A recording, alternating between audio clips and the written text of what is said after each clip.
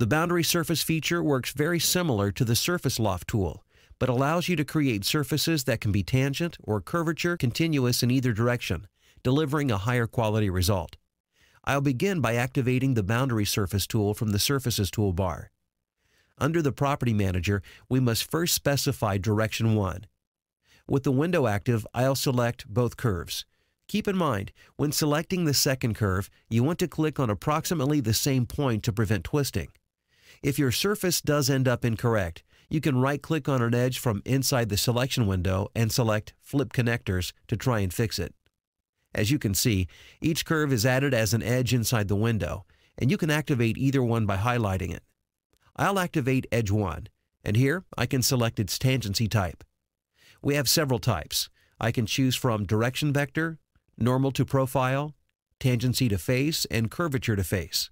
For a full explanation of what each option does, you can look in the SOLIDWORKS help under Boundary Surface Property Manager. For this edge, I'll go ahead and select Tangency to Face. Notice that the preview has immediately updated and the edge listed has changed to include tangent.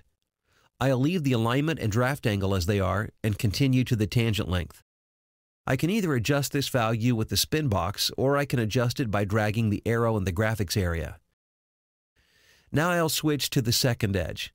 I'll activate Edge 2 by clicking on it, and this time I'll choose Curvature to Face as its tangent type.